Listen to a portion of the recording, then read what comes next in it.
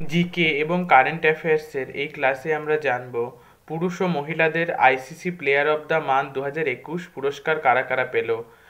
জানুয়ারি মাসে পুরুষদের বিভাগে পুরস্কার পেয়েছে ভারতের ঋষভ পন্থ এবং মহিলাদের বিভাগে দক্ষিণ আফ্রিকার শবনম ইসমাইল। ফেব্রুয়ারিতে পুরুষদের বিভাগে পুরস্কার পেয়েছেন ভারতের রবিচন্দ্রন অশ্বিন এবং মহিলাদের ইংল্যান্ডের টমি বিউমন্ট। মার্চ মাসে পুরুষদের বিভাগে ভুবনেশ্বর কুমার ভারতের হয়ে এবং লিজেল্লি লি মহিলাদের বিভাগে দক্ষিণ আফ্রিকার হয়ে। এপ্রিল মাসে বাবর আজম পুরুষদের বিভাগে পাকিস্তানের হয়ে এবং আলিসা হেলি মহিলাদের বিভাগে অস্ট্রেলিয়ার হয়ে।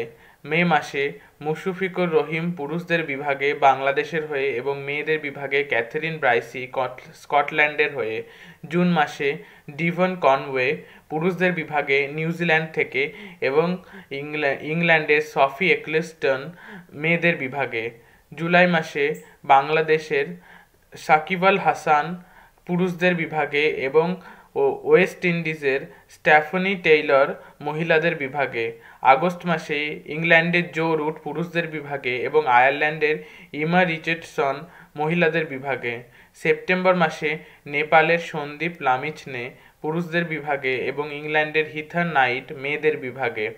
অক্টোবর মাসে পাকিস্তানের আসিফ আলী ছেলেদের বিভাগেই পুরস্কার পেয়েছেন এবং আয়ারল্যান্ডের লরা ডেলানি মেয়েদের বিভাগেই পুরস্কার পেয়েছেন। নভেম্বরে অস্ট্রেলিয়ার ডেভিড ওয়ার্নার পুরুষদের বিভাগে পুরস্কার পেয়েছেন এবং ওয়েস্ট ইন্ডিজের হেইলি ম্যাথিউস মেয়েদের বিভাগেই পুরস্কার পেয়েছেন।